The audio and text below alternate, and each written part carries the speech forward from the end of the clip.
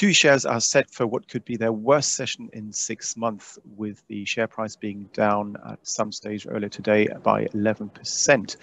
The Holiday Group unveiled a capital increase to pay back some of the German state bailout it received during the peak of the COVID-19 pandemic. And TUI said that it has now placed 162.3 million new ordinary shares at 262 European cents. The London-listed Germany-based Travel Group has raised 425 million euros from the share placing, which will be used to reduce its outstanding credit lines. And when we look at the daily chart of TUI, we can see the sharp decline today here.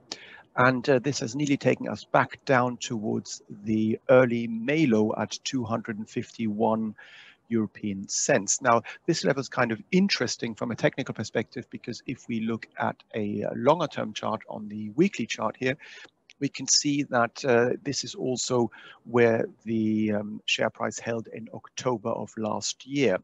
If the 250 euro cent um, level were to be fallen through, we would be heading down towards the uh, late December low of last year, which was made around the 250, uh, 240 euro cent mark.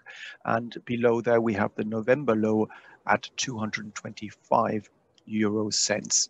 So clearly, um, there is downside potential for the share price. And this shouldn't come as a surprise because the TUI share had already been in a downtrend well before the pandemic decline happened. And this is the decline here from the pandemic, but you can see the share price already topped out in May of 2018 and has been in a very clearly defined downtrend ever since.